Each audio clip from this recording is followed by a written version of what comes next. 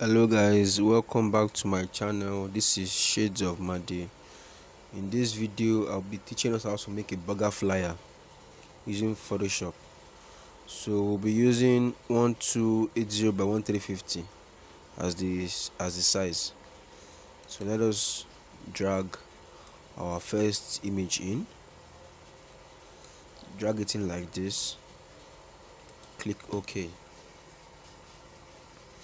what we're going to do next is add a new layer create solid color. This color will be f 4 cf 6a click ok change the blend mode to hue so let's drag in our wood image. Drag in our wood image like this. Let's place it like this. Okay exactly like this. Yes. Wood image like this okay. Now drag in our burger. Drop it like this. Reduce the size to the barest minimum reduce the size like this. So let us create shadow. So let's click on the wood add new layer b for brush.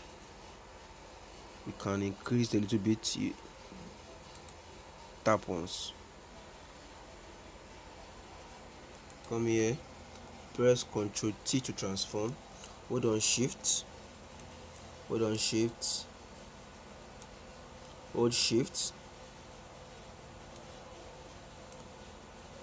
Reduce expand reduce. Reduce expand reduce. Now that's a background shadow. Let us adjust it a little bit to suit our okay this is this is okay. Yeah, this is, is okay. Let us bring in our tree. Come here come to the tree area. Let us use this down tree first. Oh sorry okay.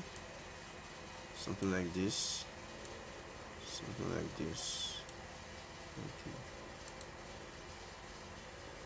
okay let's come to control let's press control shift. Here we want to add little life to the image. Or better still let us use um let us use brightness and contrast. Let us cancel this let's cancel this. The brightness and contrast. Create clipping mask contrast to darken it a little bit a little bit darken it. Yes I think this is okay. Control J the image. Hey, sorry. Control Z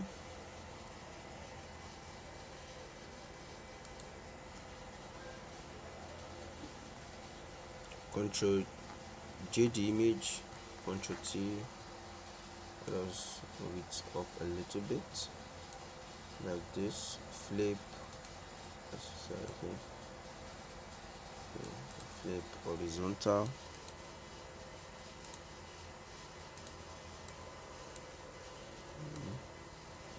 Let's turn like this.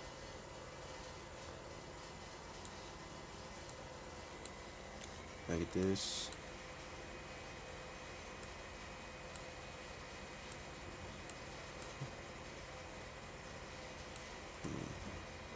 yes something like this. So let us add our leaves. I already made the design for the leaves already. Add leaves like this. So it look kind of realistic.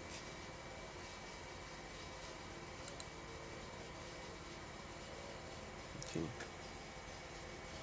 Let's add a little Gaussian blur to the leaf. Blur Gaussian blur yes something like this. This is this is fine. Then click ok. Now come to okay yes.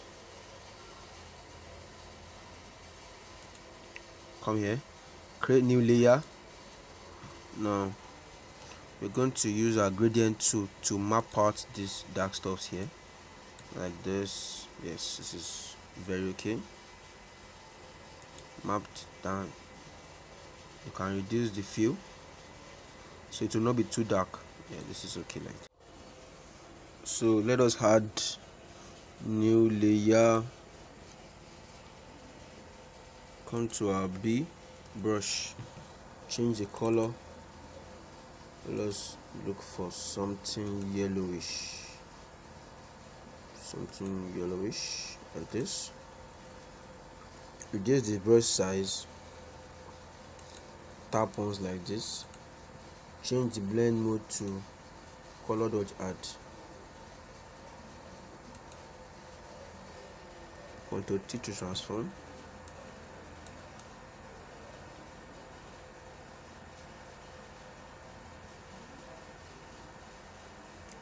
Trying to get something like this Ctrl J to duplicate the image. Can drag it like this too. Ctrl J to duplicate the image again. Drag it here. Let us leave it. Let's leave it like this. Yes. The idea is just to create a kind of scene around the burger so that's it for that.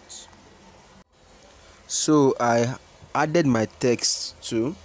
So for this meaty i will be uh, i use them great day personal use. Color combo 9d 9b10 so for i added stroke to it too. A little bit of white at the end. Stroke color okay let me sh also share the code too. Sorry. Sorry.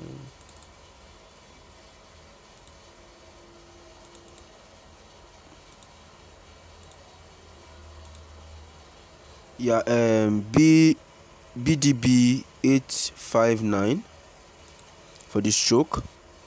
Now for the burger it's arching bold for the burger. I just cut that side to just to save time.